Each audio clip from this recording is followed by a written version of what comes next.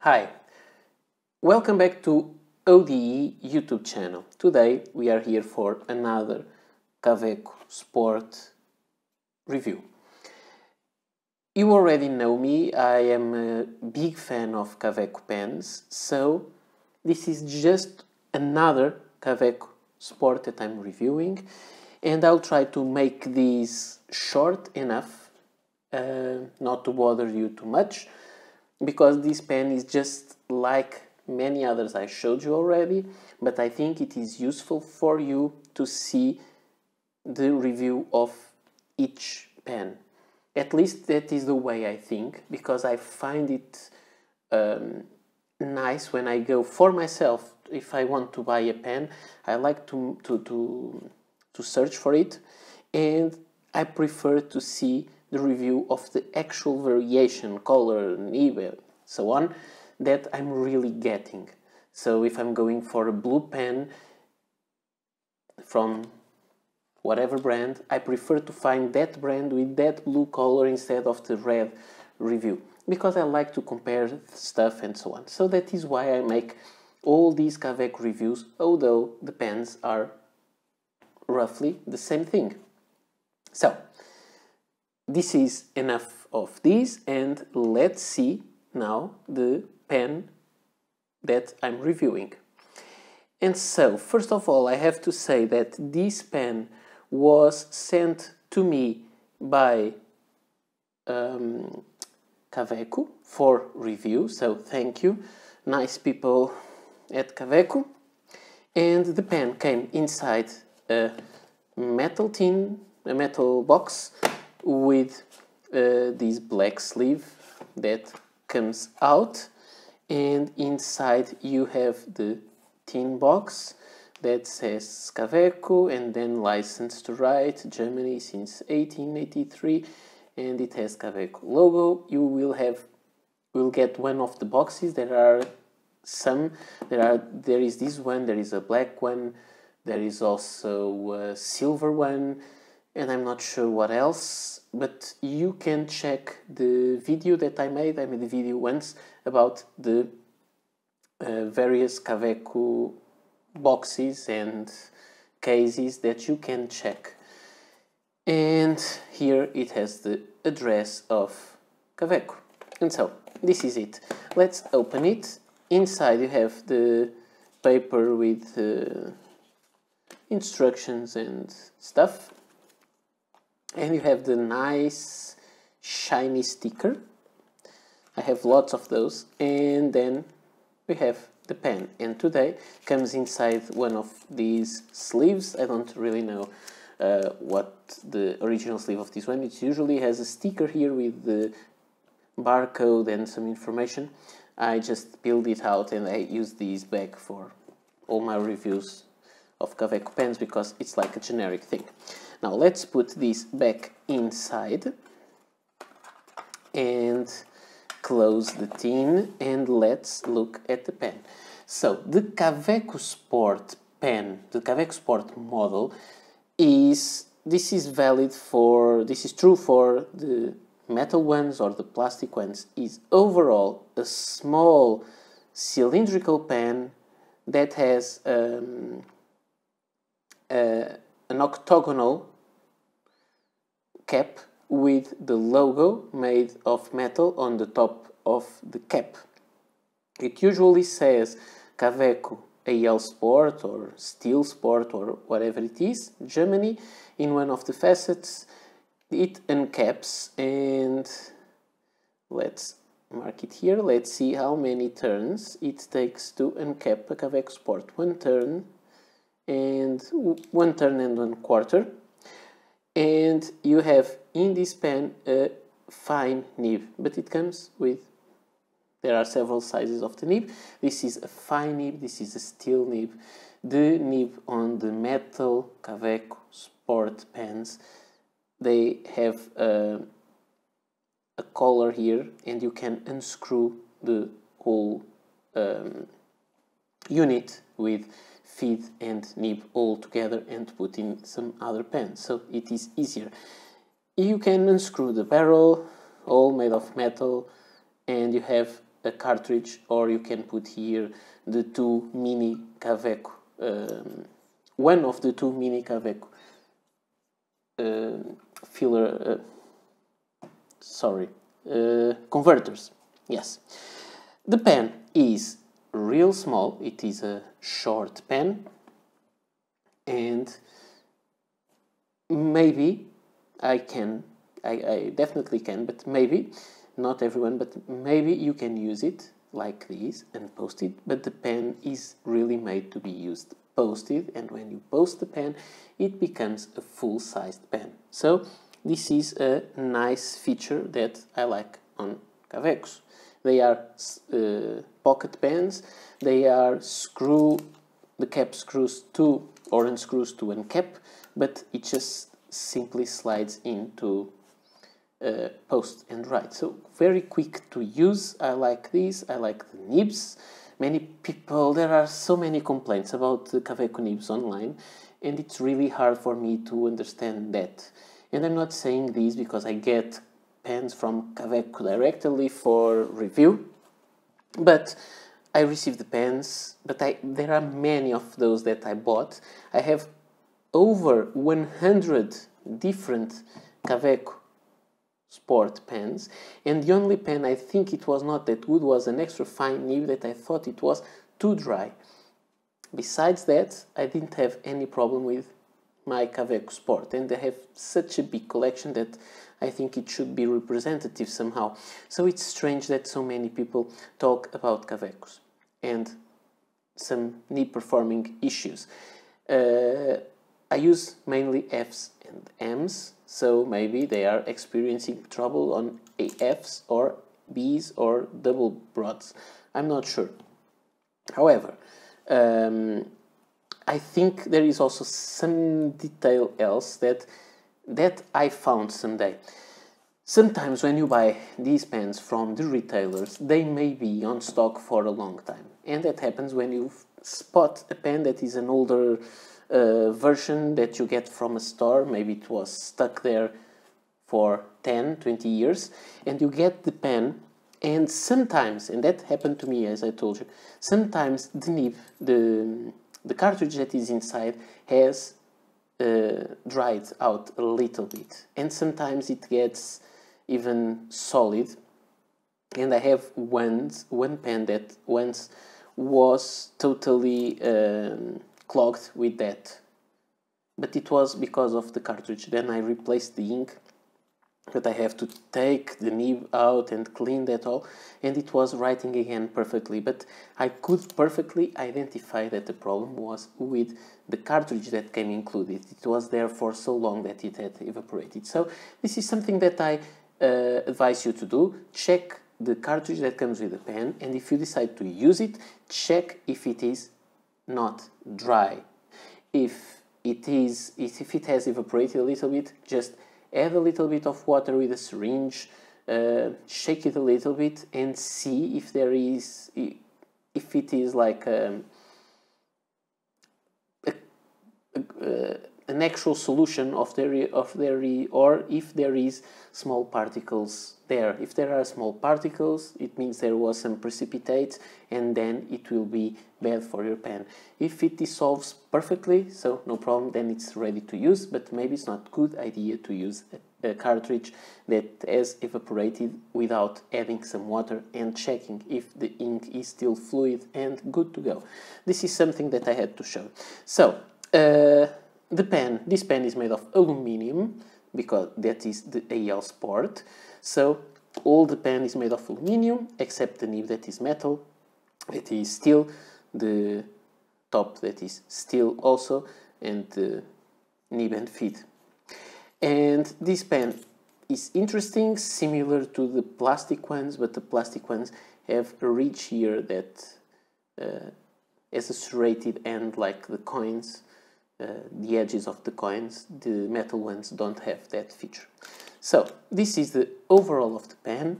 As I told you, it becomes a full-sized pen when posted, and this is something that is quite nice. So for me, that's the definition of a pocket pen, too short when it is kept or unposted, and full size when it is sorry, when it is kept or unposted, and full size when posted. Just for the size comparison, the Kaweco AL Sport, this is the silver version because it's the regular AL Sport. This is a Parker Centennial Fold, let's put it like this, for it to fit, and a Lamy LX Ruthenium, which is the same size of a Lamy Safari, and it's for I use it for reference, and you can see the Kaweco is much smaller. But when you uncap and post the Kaweco Sport, and when you uncap the Lamy, and I think that Lamy is not meant to be used posted because it becomes, it becomes too long. Also, the same applies to the Parker Duofold and you can see that the Kaweco is no longer a small pen. It is a little bit on the slim side, but it is not a small pen. Just for some comparison, I, I usually like to make color comparisons. There is no actual color comparison of this pen, but I thought that maybe I could show you other AL sports that have the same kind of feeling. So this is the silver, which means it is kind of a matte finish, but it is smooth. So I would say it is like a satin. Not really a matte, but a satin finish. There is also, or satin, I'm not sure how to pronounce it, there, this is the silver one. There is the raw aluminium. This is very hard to light these. I know that this video may, may be very bad because of the lighting conditions. Very hard to light shiny metal pens. This is the AL Sport Raw, which means it's which means it's raw aluminium. It gets all it gets all scratched in every way, but it is the same overall pen. It just has a different feel because it is it looks even um, more it seems colder to the touch. I have here also the AL Sport Anthracite, which is a darker color of that. You can see the comparison. And I brought to this thing also this one, the AL Sport Light Blue, or pastel blue, it depends. So you can maybe have some comparison. It's very hard, as I told you, because of the lighting conditions. It's very hard to light this uh, video. And I also brought the AC Sport Silver. Here it is. Let's put it like near this one. And you can see they are different this one has a matte finish, like a frosted finish. And this one has uh, that silky touch finish, the satin finish. So they are a little different in color and feel. And I also brought the Steel Sport, which is different material, steel that is aluminium. This is much heavier and it also has a different color. And here you can even compare the silver the sorry the raw aluminium with the steel. And they shine in a very different way. Now i need someday to get the sterling sport and that would be a nice pen to compare also i also want to show you two other things that are not that common. One's, one is the metallic gray uh, Kaweco Sport. This is made of plastic, but it has a gray color.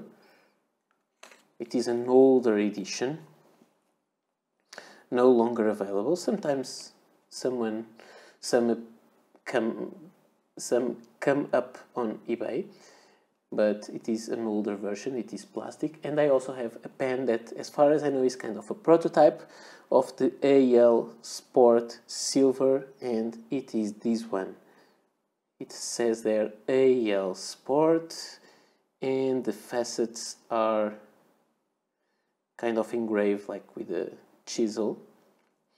And this is an older version in which the nib is different. It has no breather hole and the size of the nib is there on the side.